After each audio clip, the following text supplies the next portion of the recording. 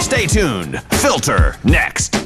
Do you remember where you were on 9999? Did you ever think a fighting game could be so addictive or that a polygonal blue hedgehog could look so good? Dust off that old white console because it's time to count down your favorite Dreamcast games right now on Filter.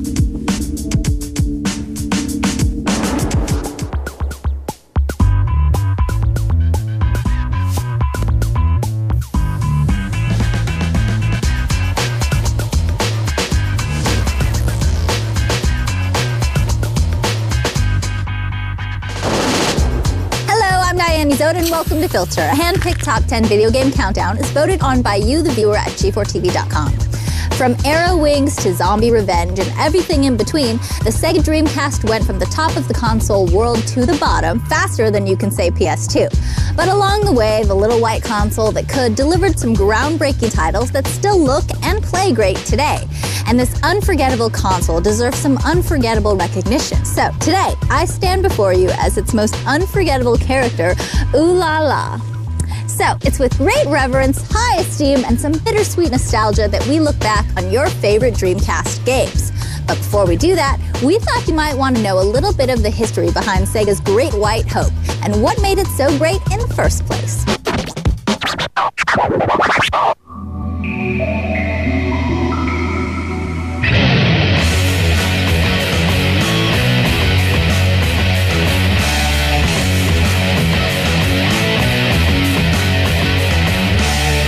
Dreamcast was a Sega console that was put out in the late 90s. I thought the system was going to do really well. I was really excited about its release. It had really good hardware for the time. It was Sega's next big console after the Sega Saturn. The Sega Saturn was a miserable failure for Sega, and they really wanted to get back into the race. So they put out the Dreamcast way before any of these next generation systems came out. Unfortunately, they might have been a little bit too early. It came at a sort of awkward time and right before the release of the PlayStation 2. So unfortunately, it didn't build the uh, fan base that it could have. It kind of has a special place in a lot of gamers' hearts because there were a lot of great games for it, a lot of very, I guess you could call them gamers' games.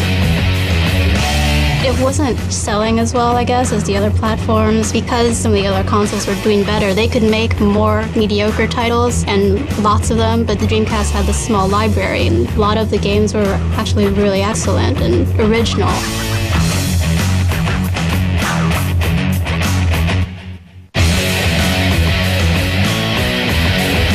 Wish they still made games for the Dreamcast. I don't understand how two years pass and the system still is as powerful as the newer generation systems that are on the market right now, yet nobody's made a game for it in ages. So now that you know what made the Dreamcast great, let's get to the countdown. We begin with a title that proved country club members aren't the only ones who can enjoy a little racket action. At number 10 is Virtua Tennis.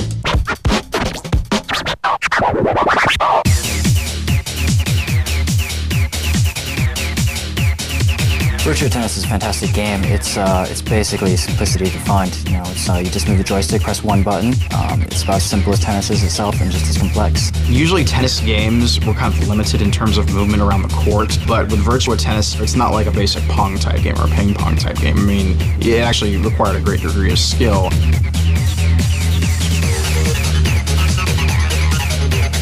That was like the very first tennis game that I played that was actually realistic. The player models looked really real. The speed for the game was just right. You know, it seemed really realistic.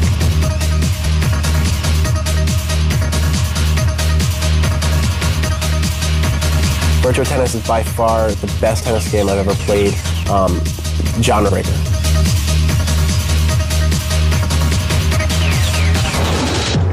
Virtua Tennis helped take you off the couch and onto the court, our next game helped bring the arcade to your living room, which inevitably put your ass right back on the couch. For that faction of the population who enjoys hunting the undead, House of the Dead 2 is for you.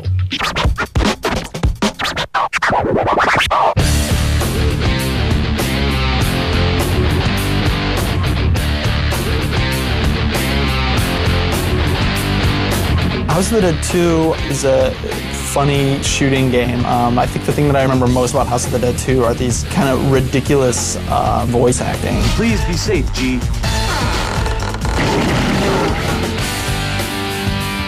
It was a very fast-paced game, but it also had some really uh, amusing dialogue. I don't want to die! The voice acting was terrible, but that made it cool. It made it funny and fun. Unfortunately, House of the Dead 2 came out right after the Columbine shooting, so Sega was like, you know what, we can't release the gun. There's no way we can release the gun peripheral. Of course, everyone went ahead and bought the import version so you can use a light gun.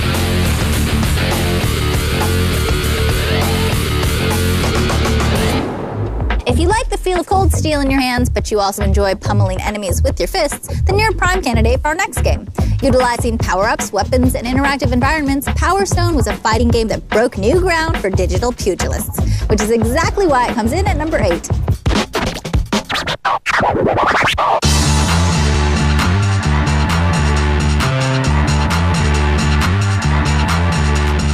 Power Stone is probably my most favorite uh, game from the Dreamcast library. It's, uh, it's sort of classic Capcom stuff. It's fast, it's fun, it's colorful, it's, uh, it's got lots of character. It was really a nice mix between sort of complex and uh, simplistic gameplay. Power Stone is a cool type of game that's a 3D fighter, but for up to four people, and throwing not just punches and kicks, but also throwing items, and you have to watch out for things in the environment attacking you and all sorts of stuff. It was a crazy fighting game. Mean, you could throw stuff around and throw stuff at each other, you know, even throw each other. And uh, it's probably, in many ways, it, it could also be seen as kind of a precursor to Super Smash Brothers. So, Power Stone is the first fighter to appear in our list, but I have a strong suspicion that it won't be the last. Anyway, we need to take a break, but when we come back, we'll continue our countdown of your top 10 Dreamcast games of all time, and we'll see what some Dreamcasts have been up to since retiring.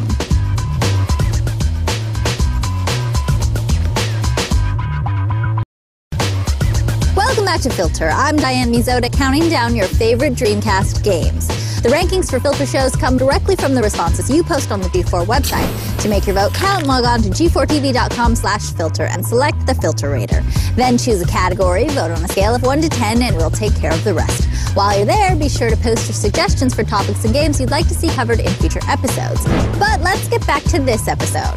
Coming in at number 7 is an RPG that takes the art of piracy to new heights. Literally. You play a cloud-faring scurvy dog who sets sail in the skies of Arcadia.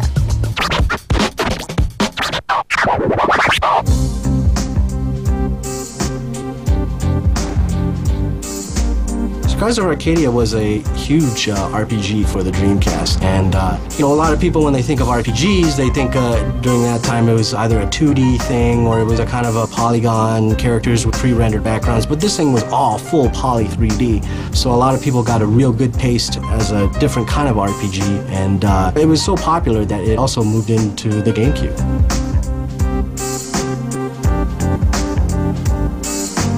Big Dreamcast RPG that uh, introduced a cast of pirates who are actually good pirates, and you can take your ship around and have these really cool ship-to-ship battles, which is probably the best part about the game. And you were always flying from like floating city to floating city, which is pretty much a standby in most RPGs. But this game, just the scope and the scale of it was so grand and cool that it made it really different and fun. Okay, so the Pirates and Skies of Arcadia don't exactly make your neck hair stand up, but they sure know how to dress. Anyway, our number six title is a game that takes good music, amazing visuals, and a unique concept and puts them together in a tight package called Jet Grind Radio. For all you rollerblading graffiti artists, this one's for you.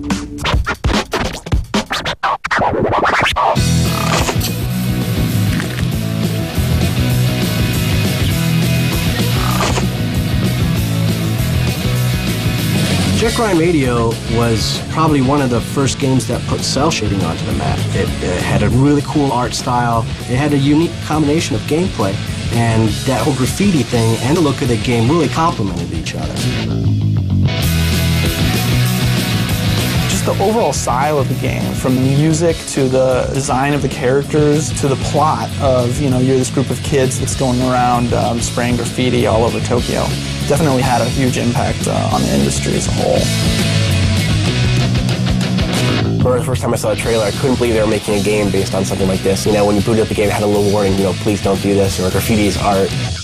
So, just another thing that Sega kind of did differently compared to the competitors. The Dreamcast made its US debut on September 9, 1999, and showed a lot of promise. But a mere four years later, the system was virtually forgotten thanks to the release of its three next generation console competitors. So where'd they all go? Um, I still play it. Yeah, so I don't miss it too much. It's sitting in the closet right now, but I still pull it out every once in a while. My Dreamcast, I have actually like four or five of them in a box in my apartment, sitting away, disused, covered in dust, unfortunately. It's hooked up to my TV. I have two Dreamcasts hooked up to the TV, a Japanese one and an American one. I still play it every other day. My Dreamcast is in the basement now. My Dreamcast is in my cabinet next to my television, probably with my Nintendo 64. I don't miss the Dreamcast that much because I still have one plugged in, so I, uh, I still I still visit it once in a while. Actually, I still have it. It's still hooked up in my living room. It's hard being a game reviewer to uh, actually find some time to play older games. We were sleeping one night and a cat came in and took a dump inside my Dreamcast. It avoided all the other consoles, went straight to the Dreamcast. Very sad, really, but uh, there you go. And ever since then, uh, it's never been quite the same. Probably a couple of them will be sold on uh, on eBay. I'll probably just keep one Japanese one and one US one. My Dreamcast is collecting dust in the basement. You know, there's a whole bunch of other stuff down in the basement too, so uh, I'm sure it's got a lot of company. Really the creative answers we were looking for. Personally, I prefer to use my Dreamcast as a blender on margarita night. Okay, we're about to break into the sweetest five presented by Juicy Fruit, so let's get to it. Phantasy Star Online was the first console RPG to take the action online, and it comes in at number five. Check it out.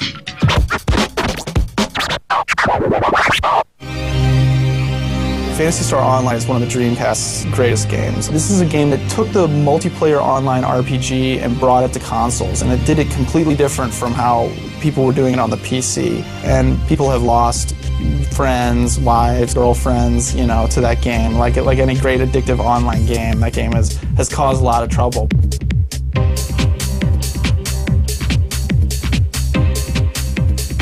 Like just to give you an idea of how addicted I was to this game, the power went out in my apartment. Um, and my apartment had two different separate uh, fuses. The refrigerator and one light was on one, and the entire rest of the apartment was on the other. So the entire rest of the apartment, I lost power. I unplugged the refrigerator, like dragged my TV and Dreamcast over into there and, and plugged it in just so that I could continue playing. Because there was no way I was gonna stop. I was gonna stop playing Phantasy Star Online. While the seminal sitcom from the 70s, Taxi, put a human perspective on cab drivers, it wasn't until Crazy Taxi came to the Dreamcast in 2000 that people realized how much fun being a hack could be. And that's exactly why it comes in at number four.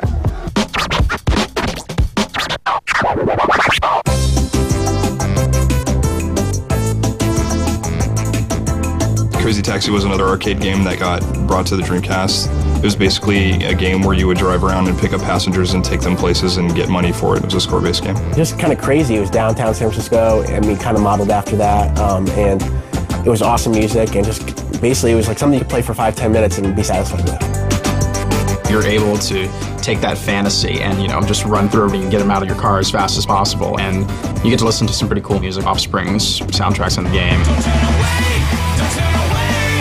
Crazy Taxi was probably the best arcade to console transition that I've seen. I mean, it really captured the whole craziness of the arcade game, and they had all these brand stores in there, like Tower Records and like Kentucky Fried Chicken and stuff like that. So it's a crazy game, like the name says. If you're a serious Dreamcaster, then you already have a pretty good idea of what our top three games are. But come on, what's the fun in knowing everything? Stick around because after the break, you may be surprised at which title claimed the number one spot. And we'll also take a look at some of the weirdest Dreamcast games of all time. That'll happen when Filter returns.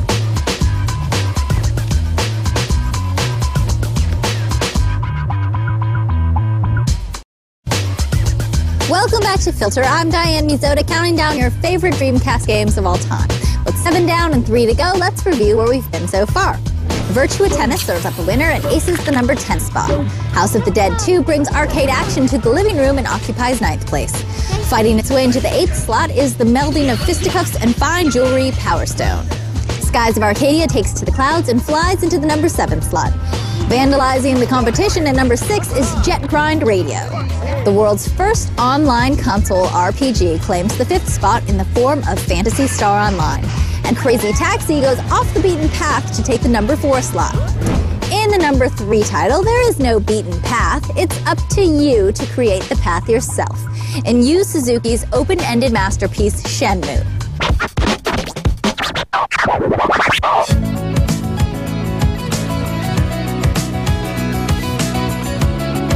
Shenmue is uh, still incredibly controversial game. You either love it or hate it. It was an interesting game. I think it was a little bit like too much like real life. Sometimes the dialogue was a little crazy and you didn't understand because of through the translation. What do you know about the incident? The incident? Yes. What do you know about the incident? You should ask the old lady. Ask the old lady about the incident. The day of the incident. The day of the incident? So it's really stunted, long-winded dialogue where I'm just like hitting the button like, okay, let's go, let's go, let's find the old lady now.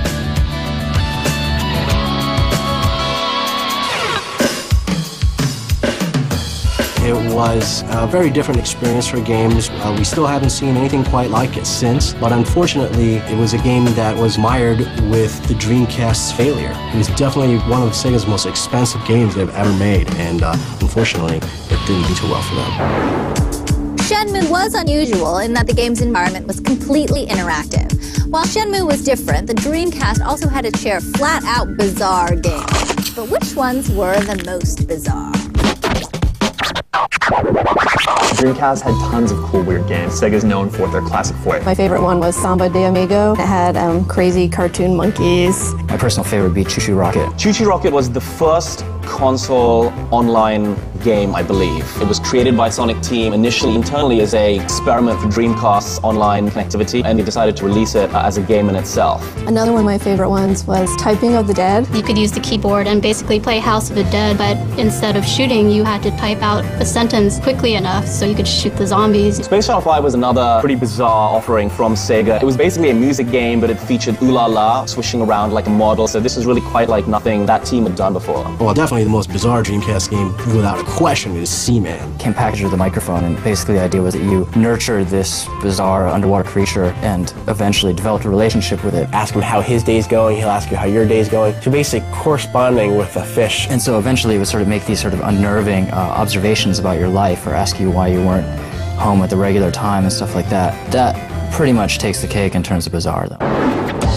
Okay, we've reached the point in the show where you determine the number one Dreamcast game of all time. So are you about adventure or do you believe in soul? Sonic Adventure followed the exploits of the world's most famous blue hedgehog after his 128-bit facelift. Although the game stayed true to its platforming roots, it marked the first time Sonic had ever appeared in the third dimension. Soul Calibur was the killer app of the Dreamcast launch, and even today it still wows anyone who sees it. But which of these Dreamcast launch titles is the best of all time? The only way to find out is to check out the Filter Face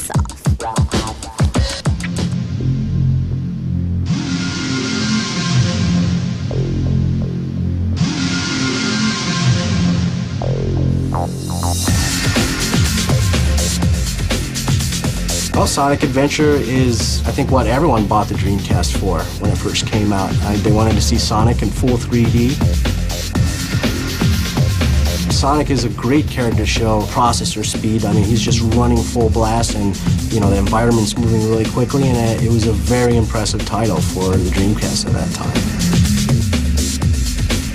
Oh, oh, that game was sweet. Sweet graphics, sweet levels, especially the courses, most of the loops and stuff they have on it, so it makes it fun. It was just fast and furious when you played the Sonic character. You could play as other characters, you know, from the series. Just kind of a fun game. Some people didn't like, you know, the open environments, kind of the adventure part of the game, but um, I thoroughly enjoyed it.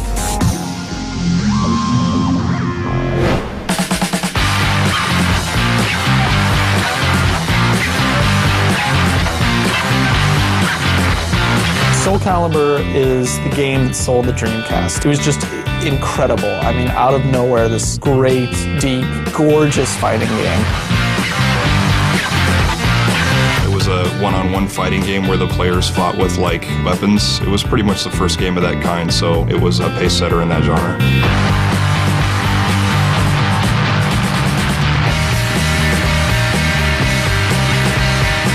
Certain sense, I think the original Dreamcast version of Soul Calibur was more impressive than the sequels that came out last year for PS2, Xbox, and GameCube.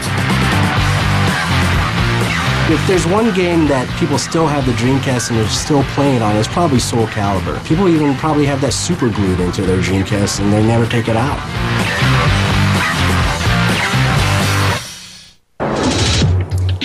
Pretty hard pressed to find someone who doesn't agree that these are the top two Dreamcast games of all time.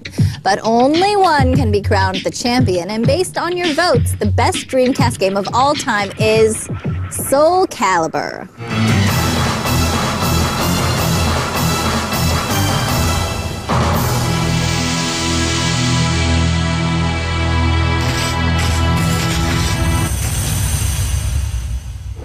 The best part of this countdown is that you can buy most of these games for less than 20 bucks. Well, that wraps up this episode of Filter. Remember, the opinions expressed on this show are yours, not mine. So make your vote count on future episodes by logging on to the Filter show page at g4tv.com slash filter. Until then, I'm Diane Mizota, and I'll see you next time.